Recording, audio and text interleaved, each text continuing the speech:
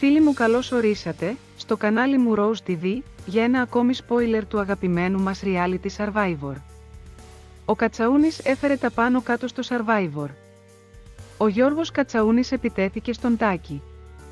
Ο ίδιος ο Τάκης Καραγκούνιας ανέφερε πως τον κλώτσισε στο στομάχι και τον χτύπησε στο πρόσωπο. Με άλλα λόγια, ένας πανικός. Και μέσα σε όλα αυτά η διαρροή ήρθε να γίνει οριστική.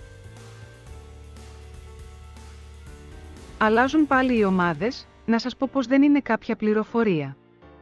Κοινή λογική είναι και το διάβασμα από το πρόσφατο παρελθόν. Το έχει κάνει ξανά ο Ατζούν πέρυσι.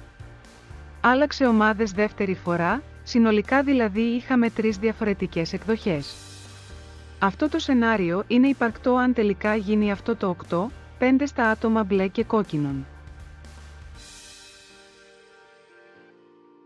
Οριστικό πλέον για τον παικτή της μπλε ομάδας που κερδίζει την ατομική ασυλία και είναι ο Τακής Καραγκούνιας. Αν σας αρέσουν τα βίντεό μου μην ξεχνάτε, like, εγγραφή και κλικ στο καμπανάκι για να μην χάνετε τα βίντεό μου. Τα ξαναλέμε στο επόμενο μου βίντεο.